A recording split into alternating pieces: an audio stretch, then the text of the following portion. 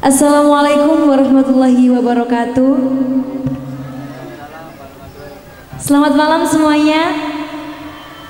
Sebelum Sarla bernyanyi, Sarla mau mengucapkan terima kasih banyak untuk Kepala Desa Desa Bedahlawa dan seluruh masyarakat Desa Bedalawa dan panitia Isra Mirot Desa Bedalawa yang telah mengundang Sarla di sini. Terima kasih banyak.